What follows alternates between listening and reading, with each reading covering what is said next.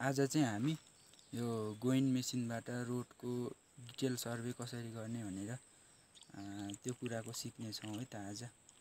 हामी यहाँ मैले सुरुमा यो लेबलिङ सेन्टरिङहरू सबै गरिसकेको छ होइन। सबै भइसक्यो। अब मैले यहाँ जिपिएसबाट यो कोअर्डिनेटहरू पनि लिइसकेको छु। अब भनेको म तपाईँहरूलाई डाइरेक्ट यहाँ मेसिनबाट चाहिँ कसरी सर्भे गर्ने भनेर देखाउँछु है त। सुरुमा हामी डिटेल सर्भे गर्नको लागि मेनुमा जाने। मेनुमा गएपछि यहाँ तिनवटा अप्सन छ F one F two F three F वानमा डाटा कलेक्ट एफ टूमा लेआउट एफ थ्रीमा मेमोरी म्यानेजर। त्यसपछि अझ यो हामीले एफ फोर थिच्यौँ भने दुईवटा अर्को अप्सन छ प्रोग्राम्स र प्यारामिटर्सहरू छ। अहिले हामीलाई चाहिने भनेको हामीलाई डाटा कलेक्ट हो हामीले डिटेल सर्भे गर्नुपर्ने छ होइन? त्यो भएर हामीलाई चाहिने डाटा कलेक्ट हो। त्यो डाटा कलेक्टको लागि हामीले एफ वान थिच्ने होइन? एफ वान थिचेपछि यहाँ हाम्रो फाइलको नाम दिनु पऱ्यो यहाँ मैले इनपुट गरेँ यो पहिलाको पुरानो फाइललाई क्लियर गरेर मैले एबिसी भन्ने फाइल फाइलको नाम दिएँ। एबिसी फाइलको नाम भयो यसलाई इन्टर गर्ने। इन्टर गरेपछि यो नयाँ फाइल खुल्यो। यो नयाँ फाइलभित्र हाम्रो फेरि अर्को तिनवटा अप्सन छ। तिनवटा अप्सनमा F one F two F three छ। एफ वान भनेको अकुपाइड पिटी भनेको यो जुन स्टेसन छ त्यो स्टेसन चाहिँ हाम्रो अकुपाइड पोइन्ट हुन्छ होइन। अनि एफ टू ब्याक साइड भनेको चाहिँ हामीले जुन ठाउँमा ब्याक साइड गरेर डा कोअर्डिनेट चेक गर्छौँ त्यो चाहिँ ब्याक साइड भयो र एफ थ्री भनेको एफएस भनेको फोर साइड हाम्रो के के डिटेलहरू छ फिचर्सहरू त्यसको लागि चाहिँ हाम्रो एफएस भयो। त्यसपछि हामीले अझ एफोर थिच्यौँ भने यहाँनिर सेलेक्ट फाइल फाइल भन्ने छ योबाट नि हामीले फाइलहरू सेलेक्ट गर्न सकिन्छ। त्यसपछि अर्को एफ टूमा पी पिकोड इनपुट छ।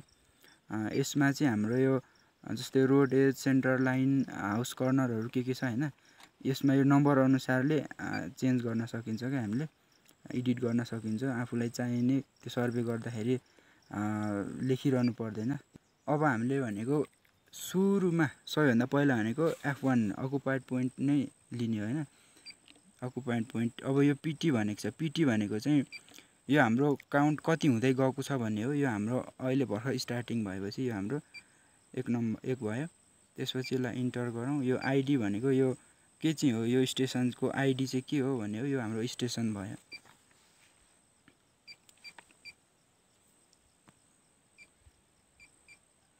स्टेसन वान भयो। यो इन्स्ट्रुमेन्ट हाइट भयो। यो इन्स्ट्रुमेन्ट हाइट मेजर गरेर राख्नु पऱ्यो हामीले।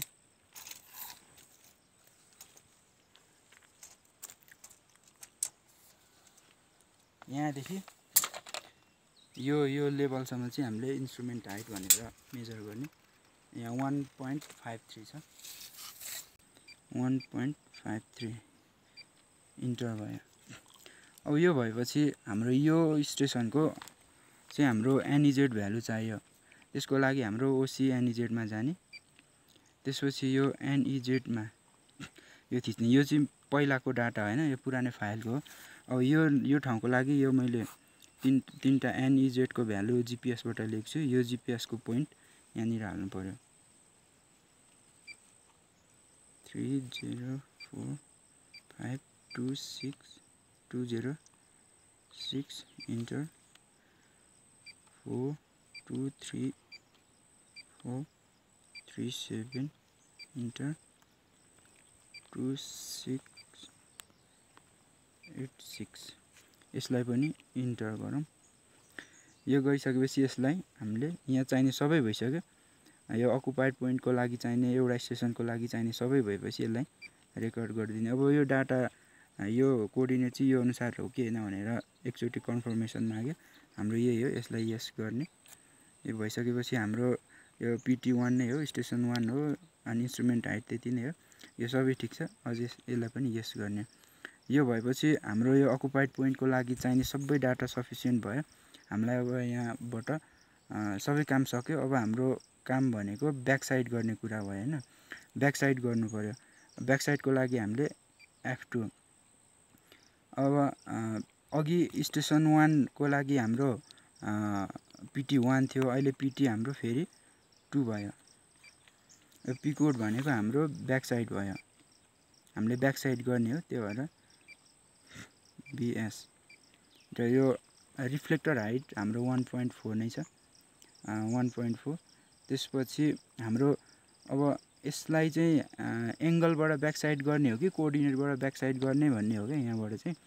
यो ब्याक थिचेपछि यो एनई आउँछ त्यसपछि एजेड आउँछ। हाम्रो अहिले चाहिँ हामीले जिरो सेट गरेर गर्छौँ होइन? त्यो भएर हामीले जिरो भ्यालु चाहिँ हालेर गर्ने हो।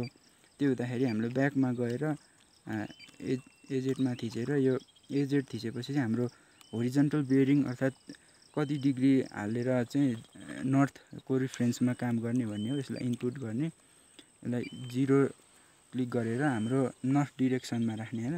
हाम्रो नर्थ डिरेक्सन अब कम्पासबाट हेर्न सक्नुहुन्छ तपाईँहरूले कम्पासबाट कम्पासबाट कतापट्टि नर्थ डिरेक्सन पर्छ।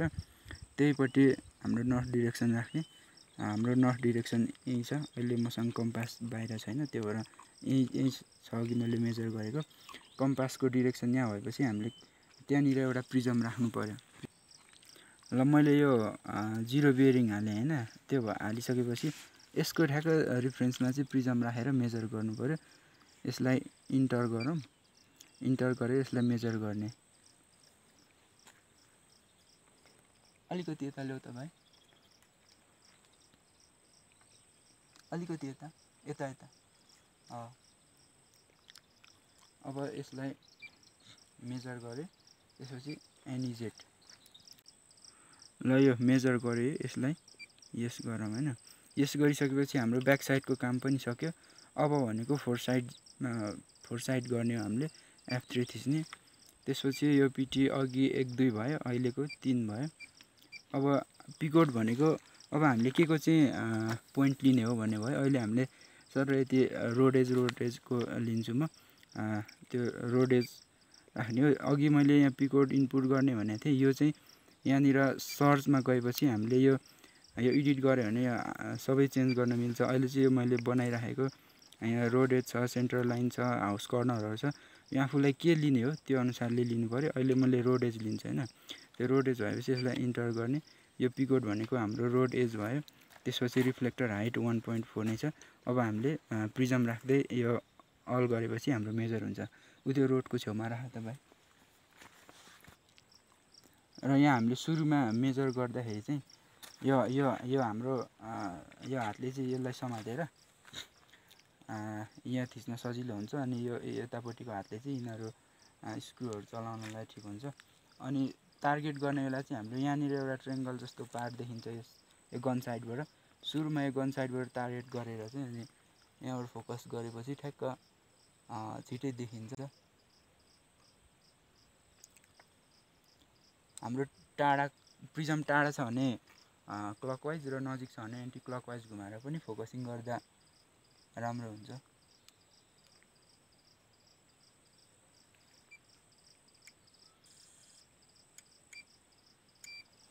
अब यस गर्ने फेरि अर्को साइड यता राख तपाईँ।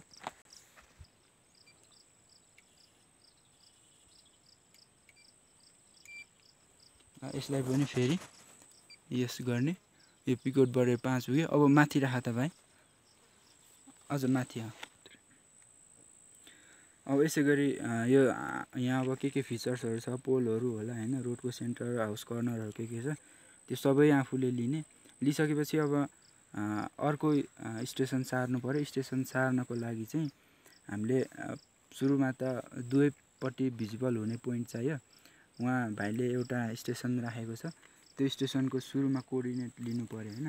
त्यो कोअर्डिनेट लिनको लागि उता स्टेसन लेबल गर्नु पऱ्यो लेबल गर त भाइ। त्यसपछि अब हामीले यो पि पिटी नम्बर टिप्नु पऱ्यो यहाँ। यहाँ हाम्रो पिटी चाहिँ पिटी चाहिँ फाइभ छ। त्यसपछि हाम्रो यो स्टेसन चाहिँ हाम्रो टु भयो। अब एनई अनि जेडको भ्यालु तिनवटा भ्यालु टिप्नु पऱ्यो है त। ल लेबल है। यहाँ हाम्रो यो पिकटको पिकटको ठाउँमा चाहिँ अहिले यो आरी छ।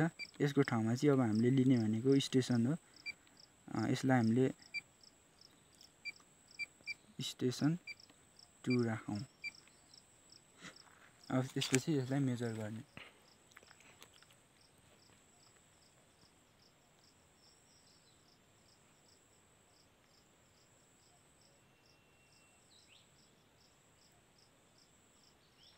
यो दुइटाले चाहिँ स्लो मोसन स्क्रुको काम गर्छ होइन स्टेसन लिने बेला चाहिँ यो दुइटै स्क्रुहरू टाइट गरेर लिनु पऱ्यो अब नर्मल्ली हामीले अरू बेला मेजर गर्दाखेरि त नर्मल्ली स्क्रु ट्राई नगरी बानी परेपछि त्यत्तिकै नै मेजर हुन्छ। यो भएपछि हामीले यो अल थिच्छौँ अल थिचेपछि यहाँ मेजरिङ भइरहेको छ अब यो डाटा आयो। अब यो कोअर्डिनेट चाहिँ हामीले यहाँ टिप्नु पऱ्यो स्टेसन टूको लागि। Three zero four five two three zero point eight five nine four two three four two three point eight one three two six eight nine point one five nine अब यसलाई यस गर्ने। यस गरिसकेपछि अब हाम्रो स्टेसन टूको लागि सार्नको लागि हाम्रो यो रेडी भयो। अब हामी स्टेसन टू सार्छौँ त। र अब चाहिँ हामी अघि हाम्रो ऊ त्यहाँ तल चाहिँ पहिलो स्टेसन थियो यो अहिलेको हाम्रो दोस्रो स्टेसन भयो। अब पहिलो स्टेसन र दोस्रो स्टेसनमा कसरी लिङ्क गर्ने भन्ने कुरा चाहिँ अहिले हामी सिक्ने हो। अब हाम्रो प्रोसेस लगभग सेम नै हो। हाम्रो मेनुमा गयो अनि डाटा कलेक्टमा थिचेपछि हाम्रो अघिको एबिसी भन्ने फोल्डर थियो। यसलाई इन्टर गरेँ फेरि इन्टर गरेँ। फेरि हाम्रो occupied point back side four side आयो। हाम्रो यहाँ आइसकेपछि फेरि अकुपाइड पोइन्ट नै गर्ने हो। अनि अकुपाइड पोइन्ट भनेको अघिको उहाँ चाहिँ एक नम्बर थियो। अहिलेको यो स्टेसन टूको लागि चाहिँ हाम्रो पिटी भनेको चाहिँ यहाँ अघि एक थियो यहाँ अहिलेको लागि चाहिँ यो पाँच नम्बर हो है त। इन्टर गरेपछि पाँच इन्टर यो आइडी भनेको हाम्रो station two station two enter यो इन्स्ट्रुमेन्ट हाइट हामीले फेरि पनि नाप्नु पऱ्यो।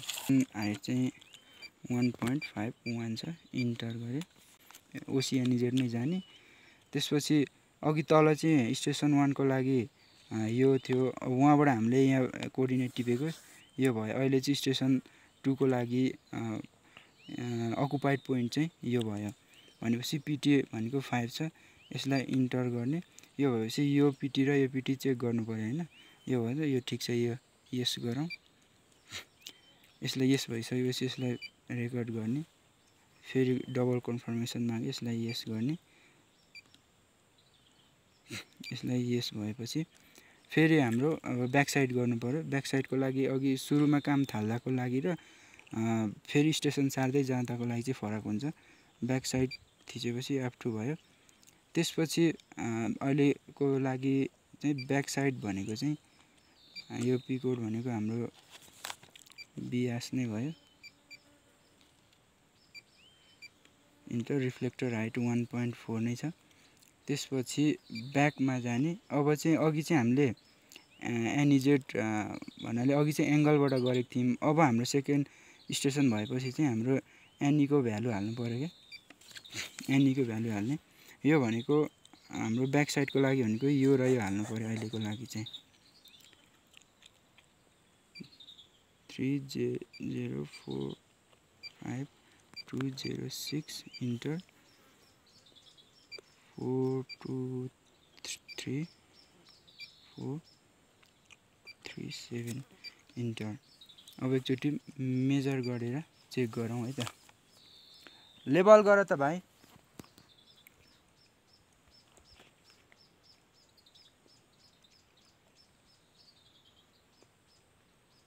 त्यहाँ फोकसिङ भयो। अब यसलाई एनिजेडमा क्लिक गरेपछि ल मैले ब्याक साइडको मेजर गरेँ।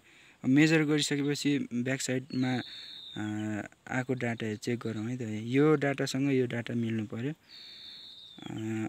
भनेपछि यो यो यो यो पनि ठिक छ।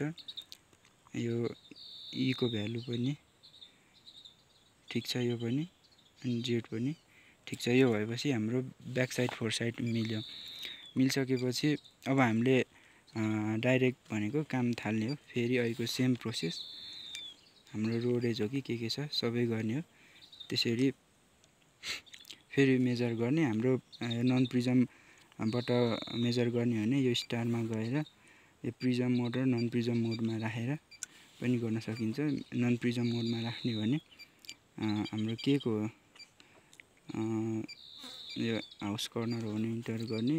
हाइट कति जति छ अब अब जेरो हाइटमा ग्राउन्ड मान्यो भने जेरो गरेर त्यसपछि अल थिचिदिएपछि हो यसरी मेजर अटोमेटिक मेजर हुन्छ आफूले। यसरी सबै कुरा मेजर गर्दै जानु पऱ्यो